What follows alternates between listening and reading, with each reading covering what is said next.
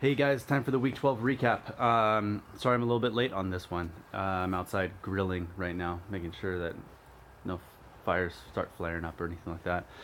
Um, so real quick, this is last week.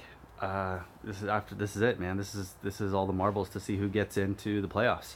Um, there's really two major fights going on right now. The first fight is to see who's at the top of each division.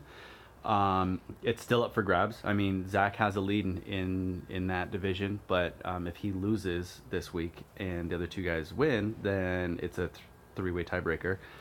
Um, and then in our league, it's uh, last year's champion Chet Casher going up against the old man and veteran Bill Henning. Um, so it's really anyone's game still to see who gets the first round bye. Uh, the other big big battle happening is between me and my arch nemesis, uh, Big Red, John Wilson, and um, John. I just made you my arch nemesis. So I hope you're okay with that. I feel like everyone needs an arch nemesis, so I'm gonna make you mine right now. Um, so if I win, I'm in.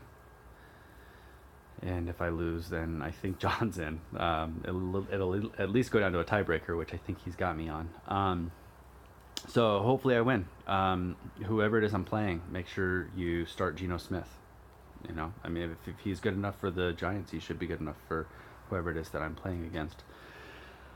Um, next week is the last week for add drops before playoffs. Um, so uh, be be aware of that. Um, uh, and trade deadline has come and gone. So if you were not lucky enough to trade with me, I'm sorry.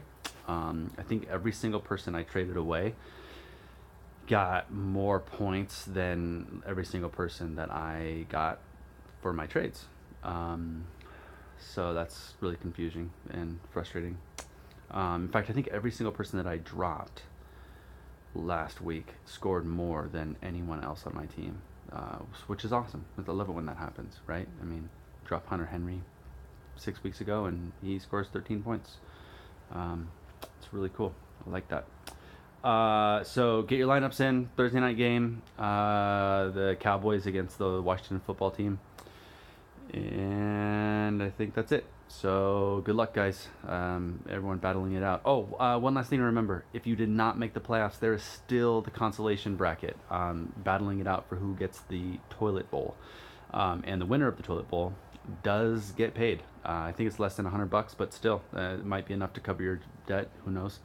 Um, so, you know, don't give up yet, guys, because um, there's still a chance to get into the toilet bowl and, and get paid out on that um, in that way.